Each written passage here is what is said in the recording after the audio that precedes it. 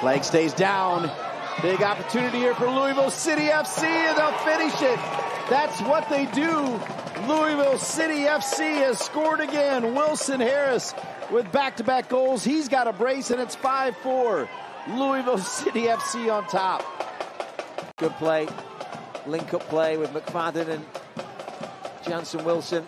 And then it's Wilson Harris. His little look at the lines when he's onside and expertly lifts